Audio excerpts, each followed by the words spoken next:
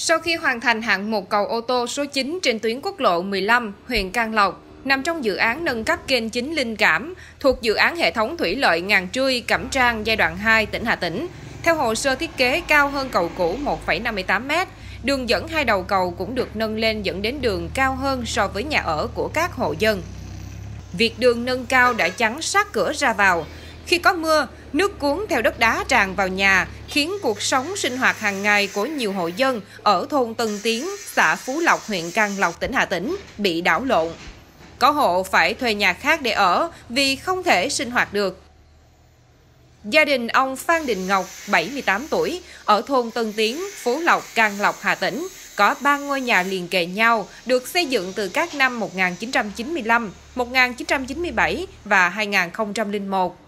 Trước đây, nhà cao hơn mặt đường, nhưng sau khi hoàn thành hạng mục xây dựng, nâng cao mặt đường cầu ô tô số 9 trên quốc lộ 15, nhà ông không chỉ thấp hơn mặt đường mà còn bị bịt kính luôn cửa chính ra vào. Hết cách, gia đình ông buộc phải mở cửa bên hông nhà rồi hàng các khung sắt làm thành cầu thang để đi lên xuống ra vào nhà. Từ khi ờ, mình cái đường 15 thì ờ, đến giờ nâng cao đến giờ là đường là cao hơn nhà hai mét tư cho nên là cuộc sống của ông bà ông bà thì đã già thôi tạm mươi thôi và đặc biệt tôi là thương binh. Cho nên là rất bây giờ hiện tại là không thể sống để tồn tại được sống như trong một cái hầm. Một ngày là phải một lớp bụi vì đường uh, à, ô tô nó cũng cuồn vô trong trong nhà. Và rất là bị bách. Và chúng ta đã, đã ra được rồi thì lại không muốn về nhà mà về nhà rồi thì thì lại lên xuống khó khăn nhưng không không muốn lên cuộc sống thì quá sức vất vả mà biệt là mưa gió là phải cắt tiền cho nên mà ổn đau là không ai vào cả. Phải sợ điện giật cho nên không ai vào cả. Đề nghị với cấp trên nhiều nó có hỗ trợ không chi tiền hỗ trợ tiền đất để đổ để làm lại một cái nhà. Hiện nay là chờ mãi cũng được cho nên tôi bây giờ đứng xin là nờ tiền đất để đổ để làm cái nhà tôi tạm. Tương tự, đối diện với nhà ông Phan Đình Ngọc, gia đình bà Trần Thị Thanh 59 tuổi ở thôn Tân Tiến, Phú Lộc, Can Lộc, Hà Tĩnh cũng lâm cảnh bi đát.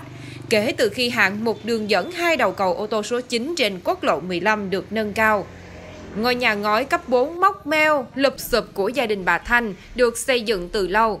Trước đây nhà cao hơn mặt đường, nhưng hiện tại sân và nền trong nhà thấp hơn mặt đường rất nhiều. Từ khi à, lâm đường rồi cao hơn nhà gì là tính trong nhà thì có chủ thì hai mét tứ có chỗ 3 mét. Cao, đường cao hơn. Trời nắng thì à, bụi hất xuống hết, bụi bầm không ở được, khổ sở lắm. Còn trời mưa thì nước ngập. Nước ngập đến ngang à, ngang bùng để dâng lên hết có những lúc năm ngủ là dâng, không nằm được, nửa đêm cũng phải dậy tạt nước. Cũng tạt được kịp, nên là phải à, phải phải di rơi chỗ năm Ờ, bụi bặm đấy ờ, rác thải rồi, tất cả mọi cái là từ gió làm cái đường cao quá rồi là ờ, là hẳn tuôn xuống đấy hết, xuống chỗ nhà mình. Nên là dư chỗ ở vất vả và hiện tại gia đình là cực kỳ là khó khăn. Không thể có một cái cái gì để mà nắng đỡ nổi trong những cái lúc như này cả.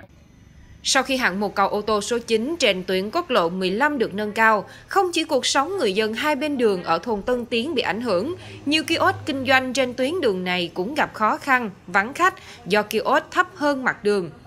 Chủ tịch Ủy ban Nhân dân xã Phú Lộc Nguyễn Xuân Chương cho biết, thời gian qua, địa phương cũng đã nhiều lần kiến nghị cấp trên, các sở ban ngành kiểm tra, xem xét thực tế để có phương án giải quyết cho người dân càng sớm càng tốt, nhất là trước mùa mưa bão sắp tới.